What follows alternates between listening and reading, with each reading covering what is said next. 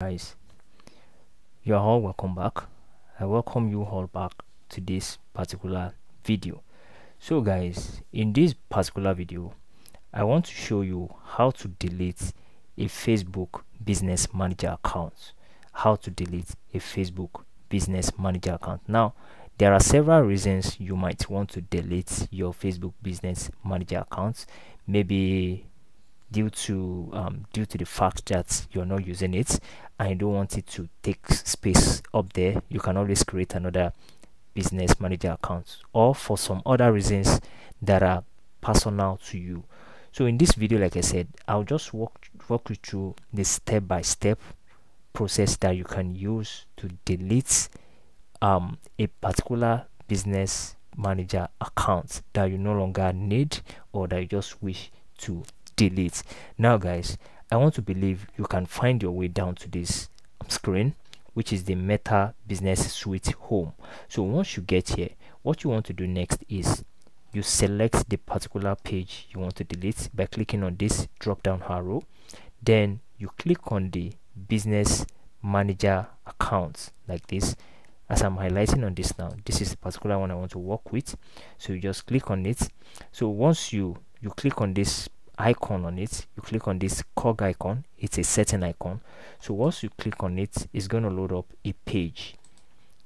So this is the page. The page is going to give us an option to go straight into the business settings. As you can see here we have several options. We have several options. So we can either go straight into the business settings or we access the business account info from here. So while we go through the business settings where we're actually going to is the business info.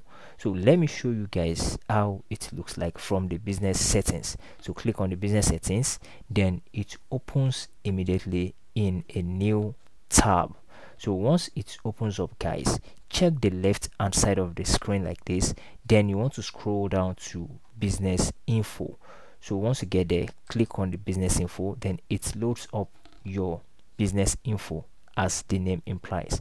So you can delete it from here. You just click on the permanently delete business button and you follow prompt. That is the easy way to delete your facebook business manager account that you think you don't want to use again. Now the other method is you can actually access it through this business account info.